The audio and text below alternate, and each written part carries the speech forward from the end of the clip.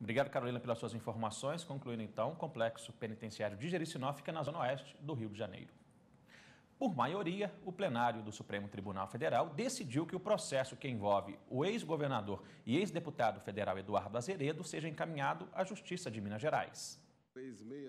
O ex-deputado federal Eduardo Azeredo foi acusado de lavagem de dinheiro e peculato. Em fevereiro de 2014, ele renunciou ao mandato de parlamentar. Com a renúncia, o Supremo teria que decidir se o caso era de competência da Corte. O relator, ministro Luiz Roberto Barroso, votou para que Azeredo fosse julgado pela Justiça de primeiro grau. Ele também propôs que o STF criasse uma nova regra geral objetiva para casos de renúncia de parlamentar réu em ação penal submeto ao plenário as duas proposições que se seguem.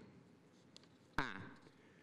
A partir do presente julgamento, se o parlamentar renunciar ao mandato após o recebimento da denúncia pelo Supremo Tribunal Federal, a competência para processar e julgar a ação penal não será afetada e continuará a ser da Corte.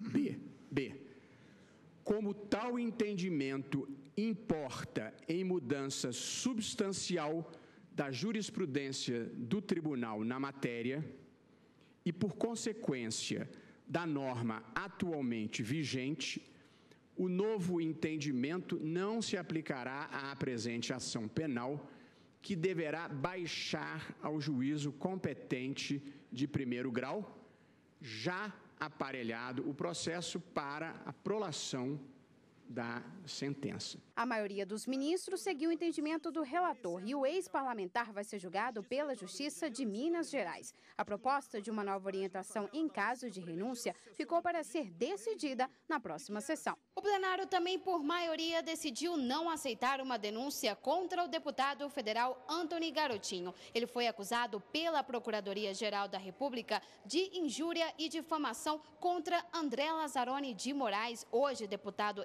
estadual do Rio de Janeiro. Os supostos crimes teriam acontecido em matérias publicadas no blog pessoal do parlamentar em 2011.